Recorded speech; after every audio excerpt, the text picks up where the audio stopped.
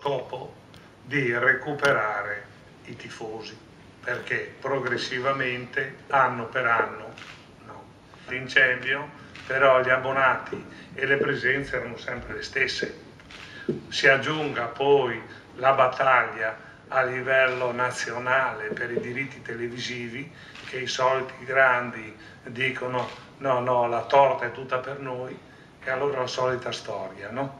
Se non ci sono risorse economiche rimarranno le solite quattro grandi che allora è meglio che vadano come ipotizzava De Laurentiis in un campionato europeo no? perché se no altrimenti sono 4 o 5 squadre che giocano in un campionato di Serie B questa è la verità un po' come succede in Spagna che sono le due big e la terza già, non so, il Valencia eccetera, ha 20 punti e tutte le altre no, sono terribilmente indietro. Allora lì i risultati sono già eh, scritti, diciamo, eh, a tavolino, perché evidentemente hanno una potenza economica e, e anche a livello sportiva queste grandi società che il risultato è difficile che, che non sia a loro favore. Ecco. Quindi la nostra volontà è quella, se vogliamo eh, recuperare la situazione, perché la situazione è delicata, perché senza eh, spettatori allora parliamo di eh, stadio virtuale e allora non serve neppure questo, no? Delle belle telecamere, no? Magari ne mettiamo il doppio e tutti la vedono per televisione questo equivoco che non si viene più allo stadio no? eh, va risolto, ma per la verità le grandi continuano a mantenere i loro affezionati tifosi, no? mentre le piccole rischiano questa situazione e noi vorremmo fare possibilmente questo salto di qualità no? e per farlo abbiamo bisogno di vedere quali sono, perché si dice lo stadio è scomodo, perfetto, è vero, no? Però è anche è vero una cosa, lo stadio metà non è coperto, però quella metà che è coperto, la differenza di prezzo tra andare ai distinti e andare alla tribuna laterale sono 50 euro all'anno, ma non vanno né ai distinti né alla tribuna allora anche quella, la leggenda che, che lo stadio non è coperto, almeno in teoria, è sfatata dai fatti, perché non abbiamo incrementato, noi abbiamo cercato di studiare appunto dei prezzi che per una piccola differenza, per una piccola differenza, uno va al coperto, perché capisco che fra l'altro la situazione si è aggravata con eh, la Pisanu, che se lei si presenta con l'ombrello glielo sequestrano, quindi lei per forza deve prendere la pioggia, no? E quindi io posso capire che uno prima di fare l'abbonamento dice siamo in una zona eh, piovosa, eh, come prendere, prendere l'abbonamento, è come eh, vincere la lotteria, qualche volta puoi andare 10, 15 o tutto l'anno, eccetera, eccetera, no?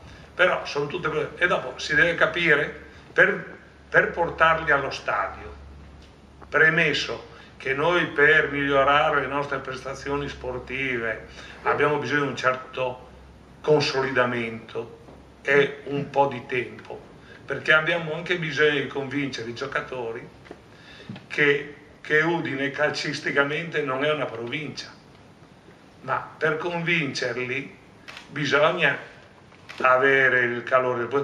Già quest'anno sono molto più contenti perché il pubblico si è avvicinato, eccetera, hanno sentito questo calore, eccetera, eccetera. No? Ma eh, per convincere uno non è solo questione di soldi, è questione di piazza, no? Cioè, se a un campione, quando diventa campione, è richiesto, no? Eh, ha un'offerta dal Milan, dall'Inter, dal Manchester, eh, dal Real Madrid, non è questione di soldi. Poi è anche una questione di progetto, se effettivamente adesso noi abbiamo eh, la possibilità di giocarsi la Champions e questo sul piano diciamo professionale per il calciatore è un passo avanti. No? E la nostra preoccupazione è questa, dobbiamo fare un investimento importante, non lo facciamo per capriccio, perché a noi piace essere, non so, dei megalomani e fare un bel stadio perché, eh, eh, eh, non so, Ricotto verrà ricordato come il fautore di questa opera, no? Non c'è nulla di tutto questo. È che vorremmo fare un sacrificio, però, per raggiungere un obiettivo, no? Che è quello di portare almeno 20.000 allo stadio in uno stadio molto raccolto dove i 20.000 si sentono e dove effettivamente i 20.000 rappresentano il cosiddetto dodicesimo giocatore. Sentono eh, i, i calciatori, sentono il bisogno, credetemi, se no non ci sarebbe diciamo, quella differenza che è notevole tra giocare in casa e giocare fuori casa. Noi attualmente come ambiente è un po' freddino, ma questo dipende sia dal tipo di stadio che è molto lontano, gli spalti sono lontani dal campo, sia dalla quantità di, di perché se è uno stadio di 30 che in realtà di 40.000 lo stadio, agibile per 30, perché hanno tolto degli posti che sono sempre vuoti nelle tribune, nelle, eh, nelle curve sud. Però è uno stadio di 40.000, i, i, sedili sono 40.000 no? e presenti 11-12.000. Chiaro, no? Cattedrale nel deserto. Poi si aggiunge anche il fatto che sono molto lontani le curve e tutti, tutti gli spalti sono lontani e quindi diventa dispersivo. Adesso perché noi vogliamo fare questa indagine? Perché vorremmo vedere quali sono le reali necessità del tifoso per convincerlo a venire allo stadio. Noi abbiamo qualche idea, perché? Eh, perché abbiamo visto che in Germania eh, eh, da quando hanno fatto gli stadi nuovi hanno privilegiato diciamo, quelle aree hospitality dove ci sono tanti tifosi che arrivano un'ora prima, due ore prima, gli stadi tedeschi sono totalmente esauriti, cosa che prima non succedeva, no? prima era una cosa un po' all'italiana e questo è un fenomeno che si è verificato negli ultimi anni e quindi il fatto che la televisione potrebbe aver dissuaso il tifoso andare allo stadio perché è più comodo vederlo per televisione, anche questa è una tesi che nel caso della Germania è, è smentita, no? Ecco. E quindi siamo qua attenti a fare un progetto che sia eh, a misura di tifoso e che il tifoso effettivamente, eh, quelli che non vengono, no? trovino la motivazione per venire. Allora questa inchiesta serve per sapere cosa vorrebbero idealmente e noi dobbiamo creare tutta eh, quella infrastruttura di servizi nello stadio per dare quel servizio affinché quelli che non vengano ritornino allo stadio. Com- comunque questo è l'obiettivo, perché se no rimarremo sempre una società lì eh, che vivacchia in provincia lottando con tutti, perché là in Lega stiamo facendo una guerra incredibile, noi piccole, perché anche lì c'è un'altra cosa, le grandi vogliono portarsi via tutte le risorse e così continueremo sempre con quel rapporto di superpotenza, mentre invece noi stiamo puntando sull'aspetto meritocratico. No? Se una società è riuscita a raggiungere certi obiettivi, no? cerchiamo di dargli le risorse economiche suddivise con più equità in modo che possano mantenere la squadra perché se uno si scopre campione io devo raddoppiargli l'ingaggio e devo avere i mezzi per raddoppiarlo. Se io ho come introiti sempre le stesse cifre e migliora la situazione eh, sportiva e non posso dargli niente al calciatore, è evidente che chiedono solo di andare via. Non c'è eh, affezione, non c'è diciamo, quello spirito di appartenenza alla società, eccetera, eccetera. E per questo chiedo anche a voi una mano, nel senso di vedere se riusciamo, se, se riusciamo a fare un, un progetto di questo tipo.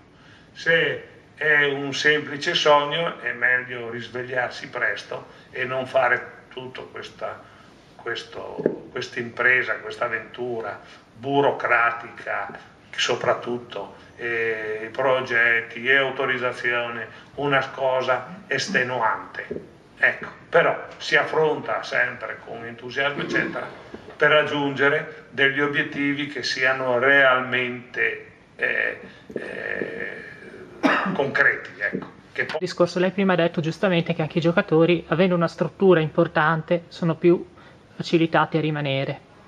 Eh... Sì, hanno più quello spirito di appartenenza alla società, no? Adesso magari vengono qui, appendono la giacca nella, eh, e non, non, non, vanno neanche nello stipendio, per dire, no? in attesa di partire. No?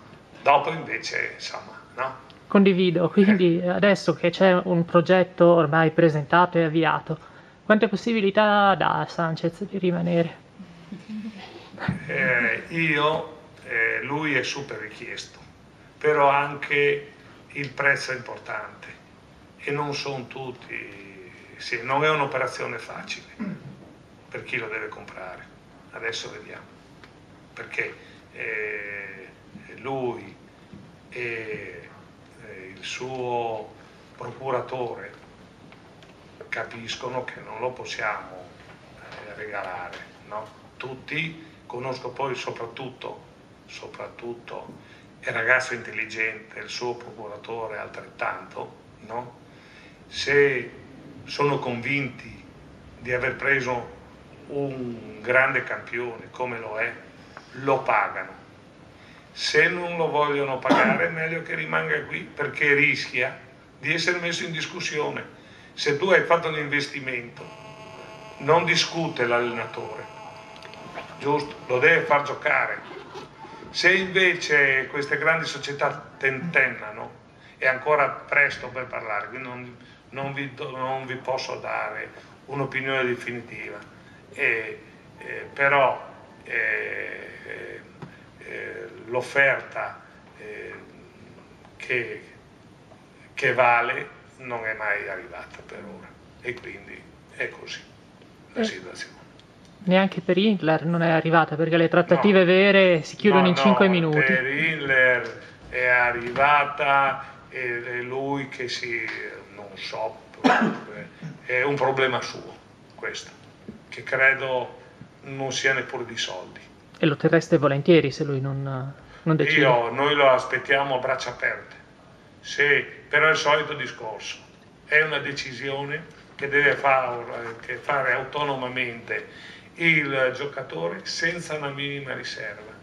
Perché io vi ricordo l'ultimo caso d'Agostino, che per dire la verità non avevamo nessuna responsabilità noi, però il fatto che doveva andare, allora rinuncia al Napoli per andare alla Juve, il Napoli c'era, era lì, per Paolo Marino nel rapporto che non, non, ci tirava scherzi, no? Ecco, boh. doveva andare alla Juve, allora aveva scelto Juve, o Real Madrid. Non è venuto fuori niente, non per causa nostra, perché non è che noi l'abbiamo tolto dal mercato, perché in questo abbiamo le idee chiare, si è perso. No? E quindi ben lungi dal cercare di convincere nessuno a rimanere. Se, non, se tra virgolette non hanno mercato devono rimboccarsi le maniche e continuare a, a lottare all'Udinese per trovare il prossimo anno, fra due anni, quello che è, eh, l'opportunità di fare il grande, il grande salto. Perché? Eh, per il resto, salvo quelle 3-4 società nel mondo, sta, possono stare bene qui. Eh.